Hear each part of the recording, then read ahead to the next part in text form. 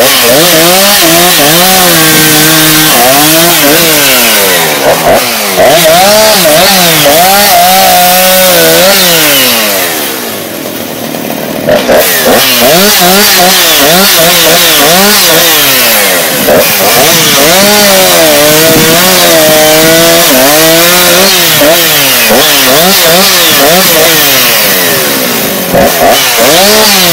Oh,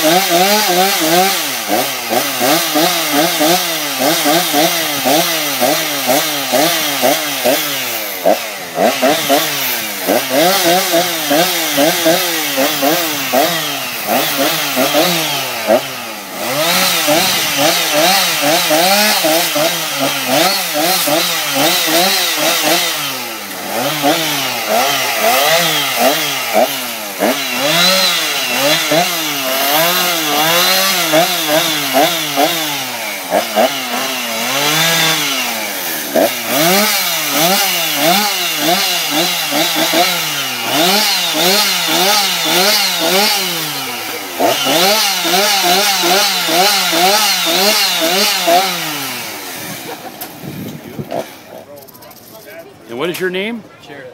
Jared? And this is the Minnesota Great Get Together. That's pretty cool. Very nice.